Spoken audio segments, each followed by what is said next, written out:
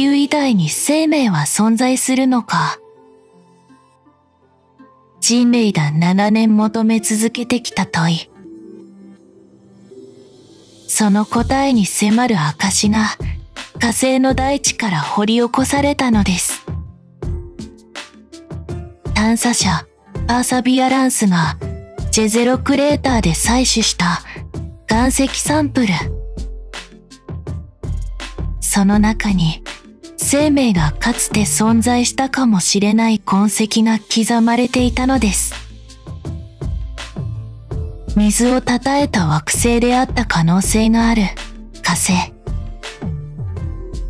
川が流れ、湖が広がり、地球に似た環境があったとされる地で発見された生命の灯火を示すサイン。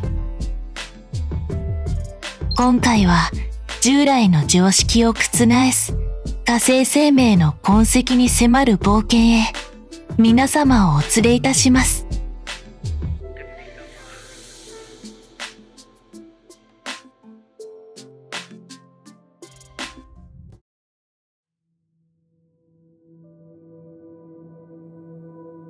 火星探査の歴史は半世紀以上にわたり数々の挑戦と発見の積み重ねによって紡がれてきました。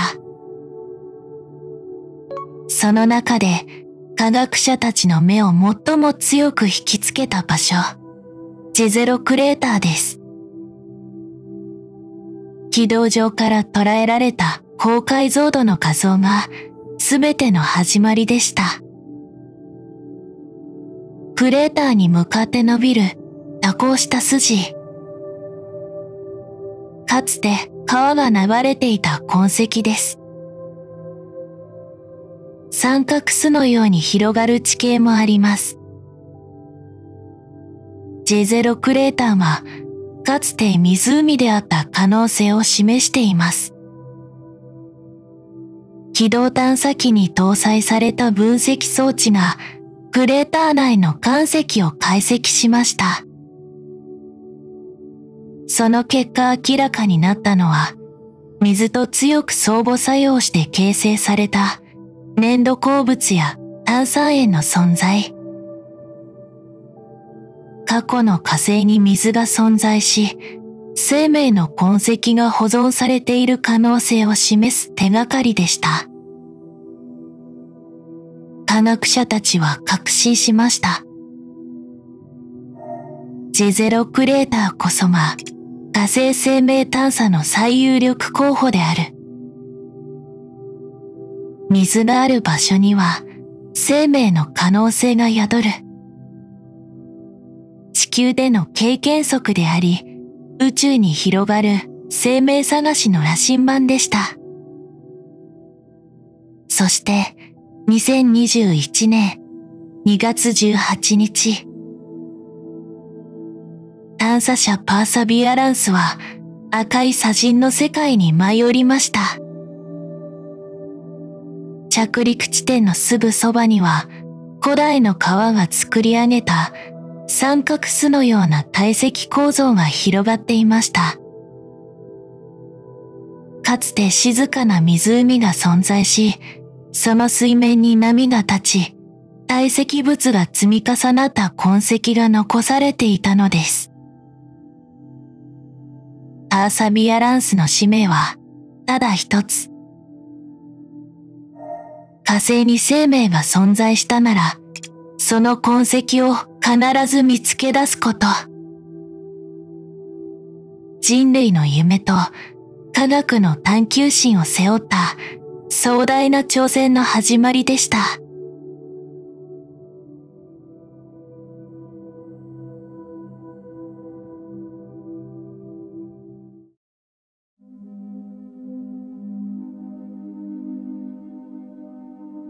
2024年7月、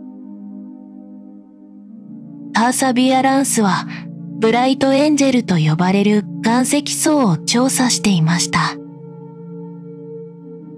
かつて川が流れ込み、ジェゼロクレーターへと水を運んでいたネレトバ渓谷の入り口。長い年月を経て、乾いた谷となってしまったその地形は、火星が水の惑星であった記憶を静かに抱えています。その探査の途中で、パーサビアランスは一つの岩を発見します。チェヤバフォールズと名付けられたこの岩には、想像を超える歴史が封じ込められていたのです。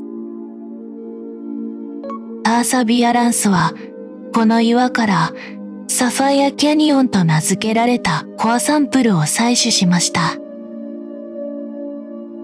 小さな寒天に過ぎないこのサンプルは、かつての火星の環境を語ります。アーサビアランスに搭載された2つの科学機器によりサンプルを分析した結果、その岩は粘土とシルトで構成されていることが判明。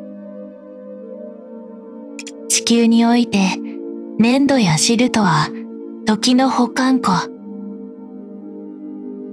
微生物の痕跡や有機分子を数億年、数十億年という気の遠くなる時間を超えて閉じ込める性質を持っています。さらにこの岩には炭素、硫黄、酸化鉄にリンといった元素が豊富に含まれていました。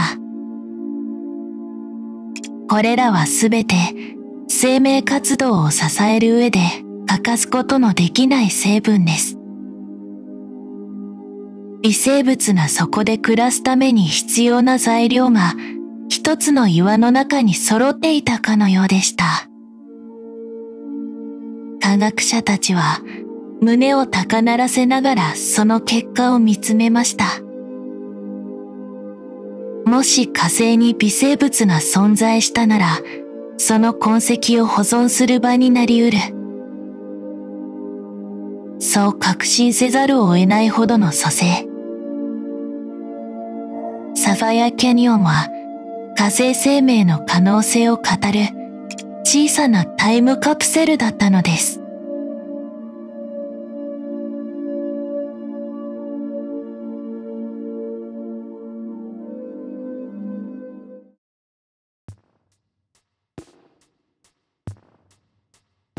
岩石の表面に浮かび上がった奇妙な模様。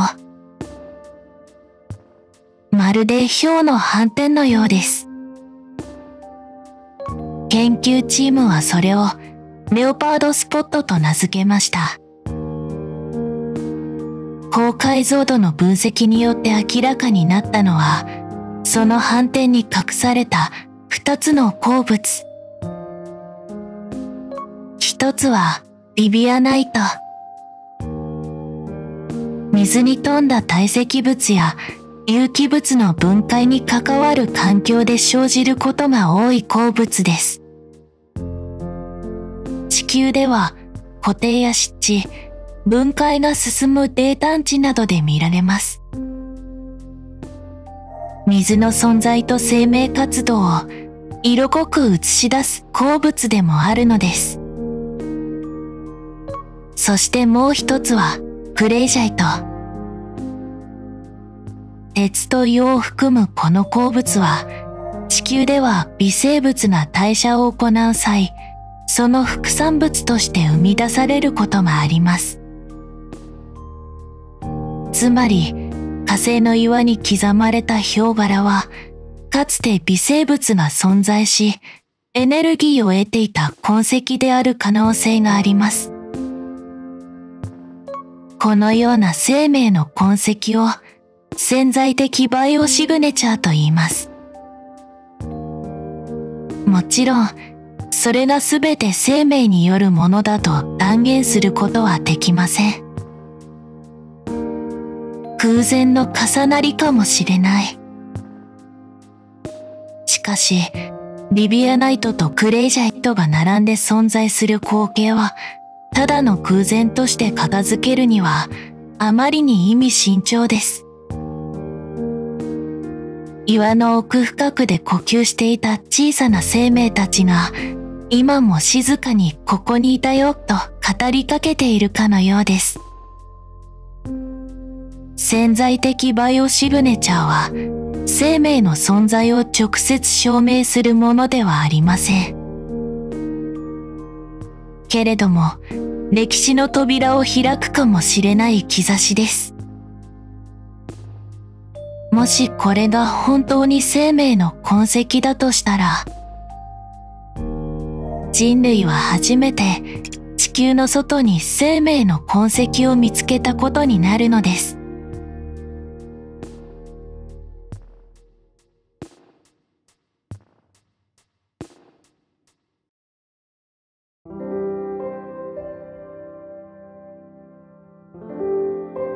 潜在的バイオシグネチャーの発見が衝撃的であった理由がもう一つあります。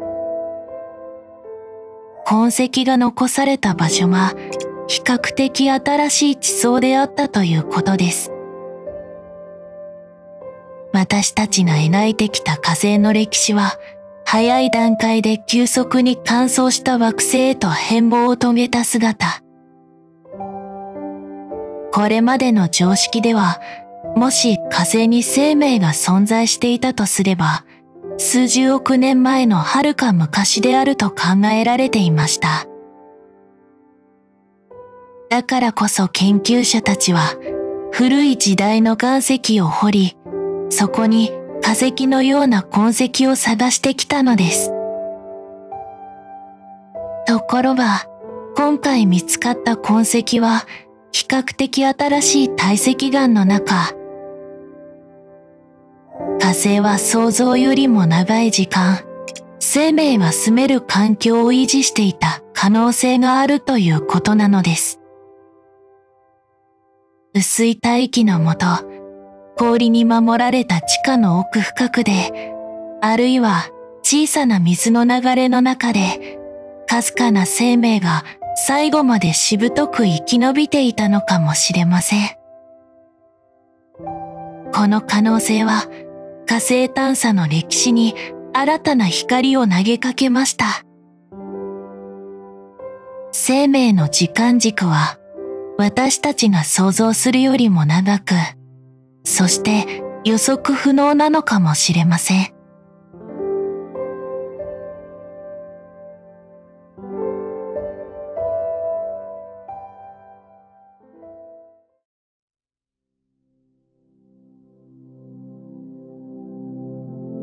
科学は常に慎重でなければなりません。どれほど胸を打つ発見であっても、そこに飛びついて愛に結論づけることは許されないのです。ターサ・ビアランスが見つけた二つの鉱物、リビアナイトとグレイジャイト。どちらも生命活動を示唆する可能性を秘めています。しかし同時に、それらは非生物的なプロセスでも生成されうる鉱物なのです。高温による鉱物変化。酸性環境における化学反応。無機的な有機化学プロセス。それらもまた火星という過酷な環境で十分に起こりうる現象なのです。今回の潜在的バイオシグネチャーの発見は希望を語ると同時に慎重さが求められます。NASA はこのような発見を評価するためにコールドスケールという生命の痕跡である可能性を段階的に判定する指標を用います。今回の発見はその中でも重要な位置を占める成果です。しかし、あくまで途中段階。断定に至るには、さらなる検証が欠かせません。本当に生命の痕跡なのか、それとも自然現象の産物なのか、その答えを導くには、火星から地球へとサンプルを持ち帰り、分子レベルで徹底的に分析する必要があります。それにより、コールドスケールの評価は、より高い段階へと進むかもしれません。潜在的バイオシグネチャーという言葉に込められているのは、生命の可能性という希望。同時に、それを愛に断定しないという科学的謙虚さ。科学とは、夢を追いながらも、常に自らを疑い続ける。その謙虚さこそが、人類を真実へと近づける唯一の道しるべなのです。